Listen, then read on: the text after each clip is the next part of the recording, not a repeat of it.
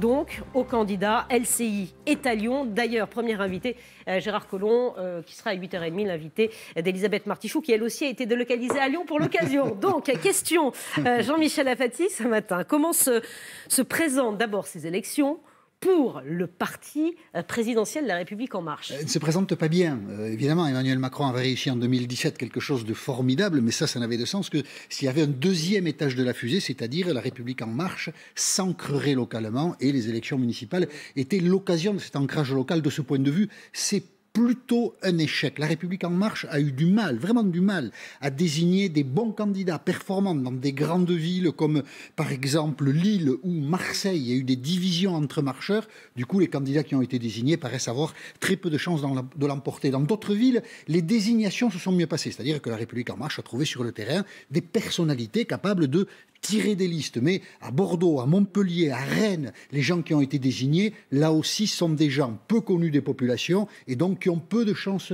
de l'emporter, peu de chances de remplacer les sortants. La République en marche a été confrontée à d'autres difficultés, par exemple à Nice ou bien à Toulouse. Là, faute d'avoir sur le terrain des personnalités capables d'être des têtes de liste performantes, eh la République en marche a carrément investi des candidats de droite. Et donc, si Christian Estrosi ou si le maire de Toulouse sont réélus, ce sera au bénéfice des Républicains et pas de la République en marche. Vous voyez, jusque-là, on ne peut pas dire que le bilan de l'implantation locale ou de la tentative d'implantation locale de la République en marche soit une réussite. Et puis, il y a les cas particuliers de Lyon, puisque nous y sommes, où là, Gérard Collomb est le seul avec Besançon, le seul sortant. Alors, il est sortant candidat à la métropole. Alors, lui, il est candidat à la métropole il a bien entendu un candidat à la mairie.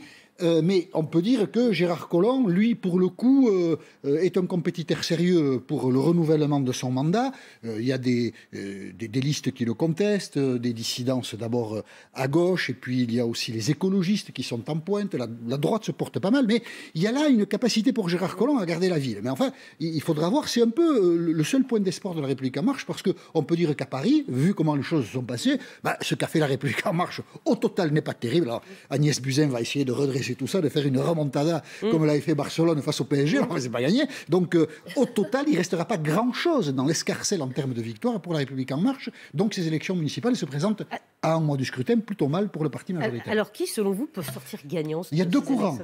Deux courants qui disent bien la fracture du paysage politique français, la fatigue des grands partis et au fond le désarroi démocratique dans lequel on vit. Le premier courant est un courant qui est souvent resté euh, euh, marginal, qui n'a jamais pu conquérir beaucoup de villes, c'est le courant écologiste. Là, on prédit à beaucoup de candidats écologistes des succès. On parle par exemple à Paris. On ne sait pas, Paris, c'est vraiment euh, une bouteille d'encre, c'est un poteau noir formidable. On dit que le candidat écologiste pourrait sortir au bout du circuit avec des alliances complexes. Maire de Paris, il s'appelle David Béliard. Les écologistes ont une seule ville, Grenoble. Ils espèrent la conserver à Montpellier. Alors ils se sont un peu divisés, mais ils avaient des espoirs de conquête. il y a beaucoup de villes comme ça où le courant écologiste devrait connaître une poussée. Et l'autre courant politique qui devrait connaître une poussée lors de ces élections municipales, c'est le Front National qui dirige aujourd'hui 10 villes, qui pourrait en diriger au terme du processus 30, gagner par exemple Perpignan, peut-être Dunkerque. Mais enfin, là aussi, euh, le Rassemblement national a parfois du mal à trouver des bons candidats. Marine Le Pen, quand elle fait des très bons scores aux élections présidentielles dans une ville, bah, après les traduire